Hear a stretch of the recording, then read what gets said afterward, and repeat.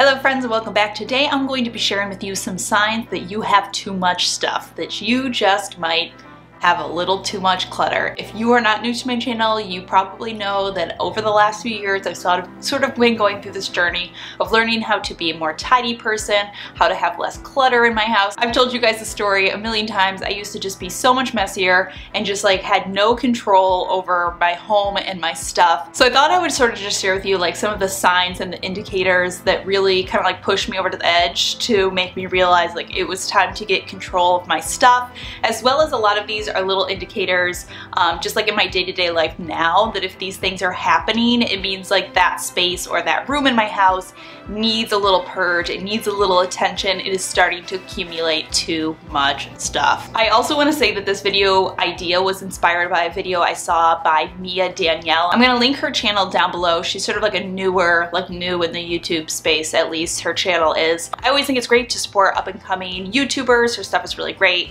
A lot of it is about organization and clutter and like getting control of your stuff.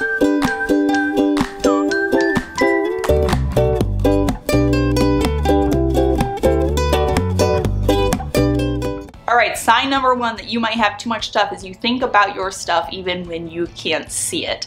I'm thinking about a very specific example in my life, and this is in the house that we had before this house, and it was our attic. Our attic had become this complete dumping ground, and it was just utter chaos, and I would literally lay awake at night thinking about it, like thinking about how cluttered it was, thinking about how I didn't have time to take care of it, thinking about when I was gonna have time to take care of it. And I remember it very specifically because it started to get pretty cluttered when I got pregnant with my first um, child. And so I was like really pregnant. I couldn't really get up there when I was pregnant. And then our baby was born. And I really like, I couldn't take a newborn up to the attic with me to organize my attic. And so it was just like this looming cloud over me. A lot of us have these spaces and they tend to be the spaces that we like close the door on because we think it's gonna be out of sight, out of mind. But you know you got too much stuff if you're constantly thinking about that space or that clutter, even when you cannot see it. And if you got a spot like that right now, like when I talked about this and you're like, oh my God, I have that spot, let us know in the comments down below because we're all in this together, you guys. Nobody's perfect. Sign number two that you have too much stuff is your organizational systems seem to fall apart pretty quickly. At the end of the day, it doesn't matter how many pretty storage bins you have and how well labeled they are. If there's too much stuff and it's overflowing, those systems are just gonna fall apart over and over and over again. You're gonna organize it and within a week or two weeks, it's just going to be utter chaos again. This is telling you the space has too much stuff. An example, I will tell you my upstairs bathroom drawer. I've actually got a pretty good organization structure here. I have little bins where I keep thing or things organized. I know this space is getting too cluttered when the organization system in that drawer has fallen apart. It tells me it is time to declutter that drawer. Number three, you have piles. Oh, piles. We all know piles, right? We like create piles and then the piles get married to other piles and they become bigger, larger piles. And when you make piles, it kind of makes you feel like you're cleaning and you're tidying, right? But the truth is, you haven't actually gotten rid of your clutter. You just like put it into a neat little pile and then you've put it somewhere. If you've got piles, you got too much clutter. Because at the end of the day, the only reason that you create a pile is because the stuff in that pile doesn't have a home that it belongs.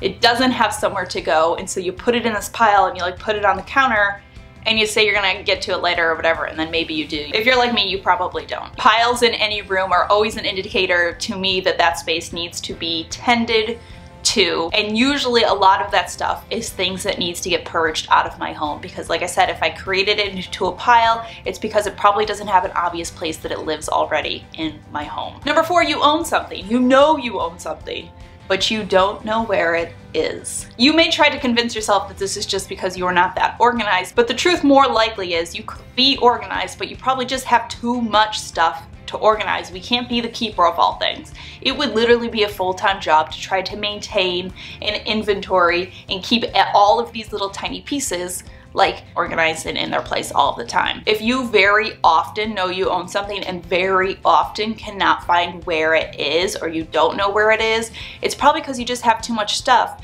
You don't have time to organize and maintain it. And I think it's really funny because I feel like a lot of the times we keep things, like one of the main reasons we develop clutter is because we keep things because we think we might need it, right? We hold on to something because like we just might need it for some project, we might just need it for some event we're going to, and we end up with all of these might need products and items and then when we do finally might need that product, we have no idea where it is because we got too many other might need products to sort through. Reason number five, you're not removing something when you get a new version of it. One of my favorite examples from my own personal life for this is mascara. For some reason, when I buy a new tube of mascara, I don't get rid of the old mascara.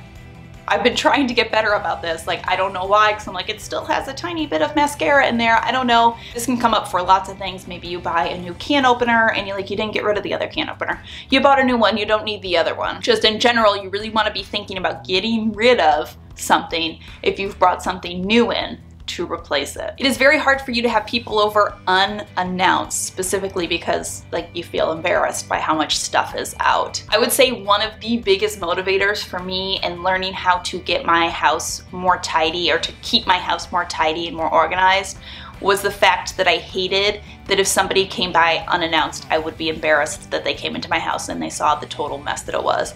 And obviously, people can come in unannounced and there's still gonna be mess around. I mean, I work in my home full time and I have two kids three years and under, so, you know, there's gonna be stuff, there's gonna be mess. But the idea is that I always like to think of keeping my home within 15 minutes of guests. Like, if somebody called and they're like, hey, I'm gonna swing by, I'll be there, whatever, you know, I could quickly tidy up. And the same for my own personal benefit that if like the house is looking really messy and I want to get it tidied so that I can organize and I can get like my mind in the right space, that I'm like 10 to 15 minutes from being able to go around and kind of tidy stuff up.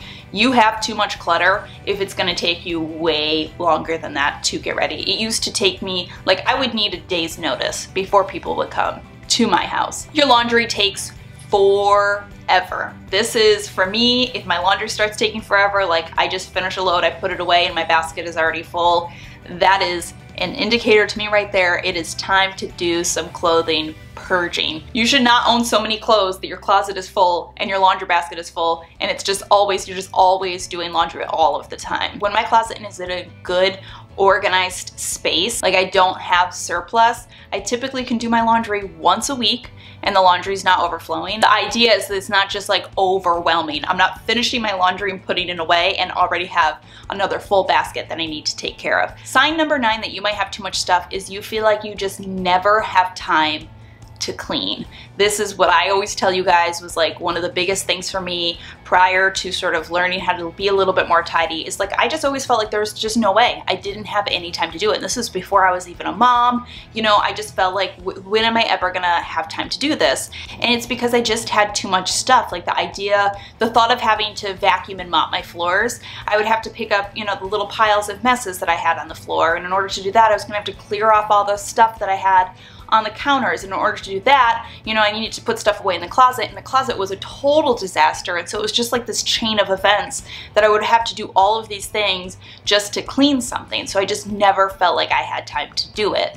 If you have less stuff in your house, you don't really have that overwhelm. You know, your surfaces in general are gonna stay pretty clear or you can clear them off pretty quickly. So it's easy to wipe down your counters, to do a quick vacuum, to like dust or mop or whatever. You forgot you had something. Like you go into a drawer or you're organizing something in the basement, you're like, oh my God, I forgot I had this. Sometimes that's fun, right? It's like Christmas. You're like, oh, I totally forgot that I bought this like pair of shoes for myself or like this book and it's like Christmas on a random day in February. But if this is consistently happening and you've got all this stuff that like you forgot you bought, you got too much stuff. Number 11, I love this one because it's a very specific example for me, is when somebody is visiting or, you know, you're having somebody stay over and they ask where something is and you like don't know or you're like embarrassed to tell them where it is because you don't want them to go into like your Monica closet. If you watch Friends, you know what I mean by the Monica closet, you know, but they'll be like, hey, where do you keep your extra paper towels? And you keep it in like this junk closet and you're too embarrassed for them to go in there and see it. It's because you probably have too much stuff. You can't keep that stuff organized.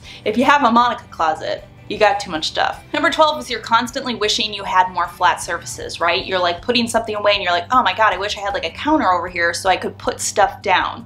And that's the thing about flat surfaces, right? It's like they're so good for putting stuff on. You got counters, you got tables, but they're really, if you think about it, you really shouldn't just be like cluttering them up with stuff. That's like not the point of flat surfaces in our homes in general. If you constantly find yourself thinking like, oh, I just wish I had another table here to set some stuff down, like what stuff are you what stuff are you setting down? The point is not to be creating more piles that we're just leaving out. You don't need more flat surfaces. That's not gonna solve the problem. You need probably less stuff. And last but not least, you are constantly buying more storage bins. You think that like storage bins are the solution to all of your problems. And listen, don't get me wrong, storage bins, when you find the right ones, they can be amazing. They can streamline a space, they can make it so much more organized. They can really help you maintain and keep good inventory of the stuff that you do have and you are going to keep. But I find if there's a space where I constantly seem to be cycling stuff out or I'm constantly just telling myself like, oh, I just need some more storage bins here, it may be time to sort of step back and reevaluate like, what do I need these bins for? And is it really stuff that I need to be storing and maintaining and keeping in my home or is it maybe some stuff that should probably go, that maybe I can get rid of, that I can maybe store in a space I already have. All right, my friends, that, that does it. That was like my 13 different reasons, I think. I don't know, I wasn't counting.